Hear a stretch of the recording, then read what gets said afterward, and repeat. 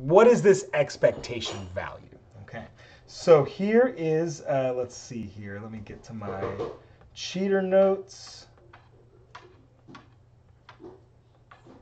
Okay, so the so once again, just in our notation, okay, when we do this symbol right here, that's expectation value of the operator in question. All right. And again, going on this example of maybe just supposing two states, so a superposition of two states, okay? So mathematically speaking, the expectation value will be the square average of those results, okay? Which is given by omega. Um, and so what this means now, this integral here is not unique to quantum mechanics. Uh, this is just a mathematical operation to carry out this average. Okay, this, um, and it's it's not quite an arithmetic average like a mean. Okay, it's an expectation value, which is just another way of doing statistical analysis. And because of this notion of superpositions, right, where we're just adding up a basis set, this is um, the appropriate statistical analysis on wave functions. Not a mean function, like an arithmetic mean, but rather an expectation value function, okay? So I just want to walk you through what um, is going on in the math here. So psi n, that corresponds to a normalized wave function. So first the wave function has to be normalized. And we're going to play with this wave function that I've got going on right here. So recall we normalized this last time um, in our Friday session. And um, this is actually the wave function for ground state hydrogen atom. Okay, so it's fairly realistic. Um, so psi n is a wave function. Remember, psi star n is the complex conjugate of a normalized wave function. All right. Um, we remember that, uh, so I'll put both of those there. We remember that d tau is r squared sine theta dr d theta d phi. Okay, and so we also remember just in general, because these are eigenvalue equations, when I take the operator and operate on psi, I get back the eigenvalue multiplied by psi. Okay. So if I uh, continue along here, we know that this is going to equal now psi star n. And so I'll replace this omega psi um, uppercase omega, so this is not a W, it's a lowercase omega. Lower case omega, which is the eigenvalue, and we know now that's a real number. Okay, so I can replace that with lowercase omega psi n d tau. All right, and because we know omega is a real number and it's a constant, I can pull that out of the integrand and so this goes now psi star n, psi n, d tau. And because these wave functions have been normalized, we know that now psi star psi d tau equals 1, right? And so thus this whole thing just equals omega, the value we want to know, the expectation value which again, the expectation value is the average of a large number of observations. All right? So let's do um, a real example. So I'm going to switch over to the Mathematica file, and this is definitely a part of what you're supposed to do in the Math 2 assignment. All right, so I'm going to give away some of the answers, um, and I'm just going to put that down here below. All right, and so what I also want is my um, math assistant. So I'm going to use that just to make a nice looking, uh, you know, mathematical operation so we know what's happening. All right. And um, I'm also going to remind you that I can separate this r squared sine theta dr d theta d phi into its separate integrals. All right. So let's build that up. Um, so I'm going to say, um, let's see here. I think I can pick that one. Yes. And I'm going to pick this guy. And my, remember R goes from zero to um, infinity, okay? So I've already defined my wave function as, um, let's actually zoom in a little bit. Uh, there we go. So I've already defined my wave function as psi, oops, I'm going to back up because, see, I defined it as psi sub n, so I know it would be, um, to remind myself that it's normalized. Oops. N, okay. And then bracket um, R, comma. And uh, let's see, I'm going to put a value in for the Bohr radius, 52.9, because I want an actual value out of this thing.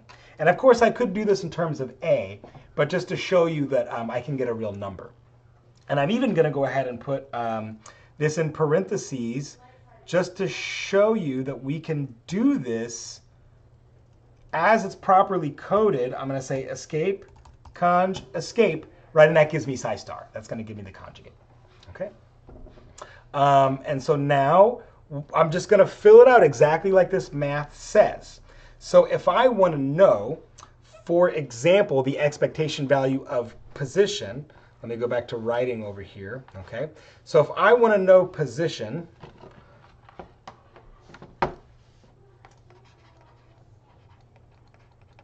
I'm just going to say position, that's what I want to know. Then now my expectation value is going to be given by R. And so that means my operator is R hat, and that is just simply equal to R. Okay, so that's all that that is. So I'm going to make my operator sandwich. So I'm going to say psi star R. And then now, um, oops, I'm going to put a space in there just so it knows it's multiplied. And then now escape, oops, uh, let's do that one.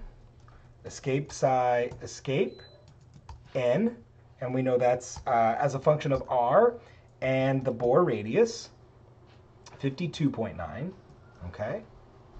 And so let's see here. So now we've got that as psi r psi, and those are all of the dr functions, okay? But remember, I have to have the sine theta, d theta, d phi as well, all right? I can't forget that. So now I'm going to add in my second integral. And uh, just to make sure it knows that these are multiplied, yep, I said space. And then now that's 0 to, um, I think it's 2 pi. I'm going to double check just so I do this correctly. Oh, 0 to pi. I'm glad I checked. Okay. Escape pi, escape. And then now that's going to be sine of theta, okay, uh, oops, bracket, and then d theta, okay, and then now the final integral I need is for d phi. So I'm going to put that in there. And now this one is 0 to 2 pi. So 0 tab 2 space escape pi escape tab. And then now we just know that I'm just going to put it in as 1 because it's just 1 d phi, right? And escape phi escape. Okay, lovely. And so now I've got all of those being multiplied together and cross your fingers. In principle now, I should be able to hit, um, let's see here.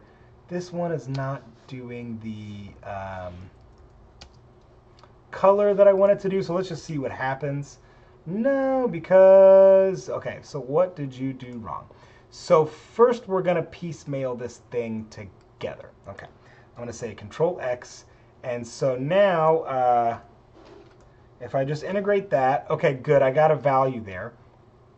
Okay, so here's what we're gonna do. I'm gonna say parentheses, parentheses, and now I'm gonna say that's multiplied by, um, 0 to 2 pi, and then sine theta bracket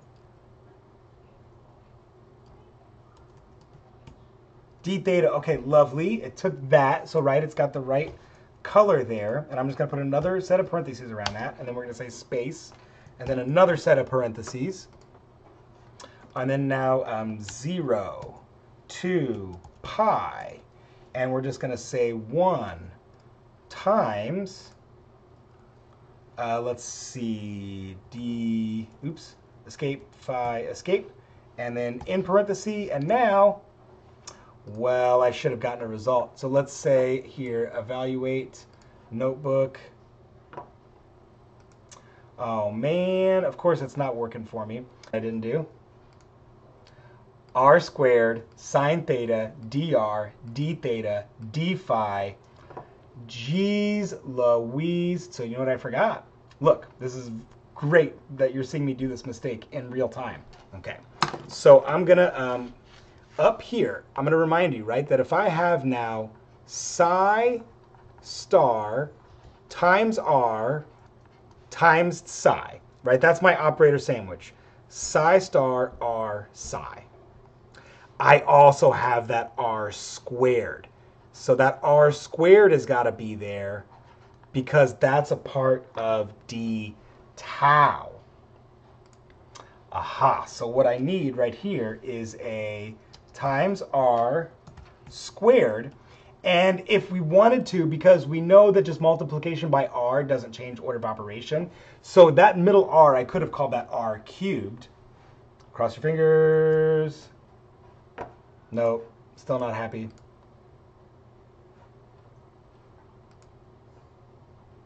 So let's see, evaluate quit kernel, local, yeah, do it all up.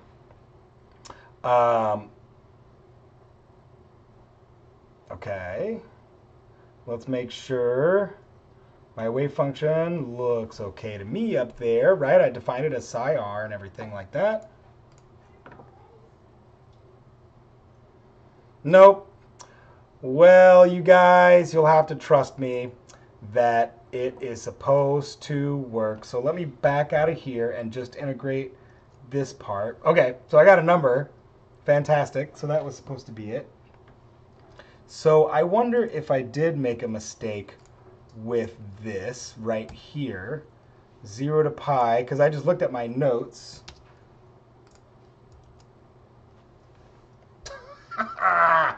Mistake in my notes. I am not editing it out.